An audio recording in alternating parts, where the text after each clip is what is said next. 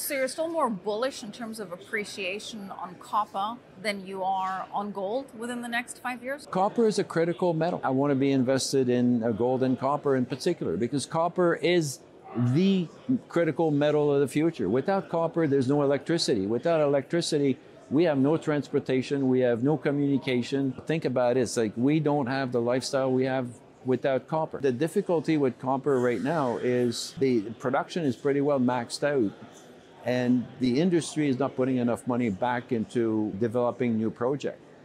Not because they don't want to, but again, it's access and process. Is that it, new discoveries are far and few between, and then it takes 10 years to permit and build. It takes a long time.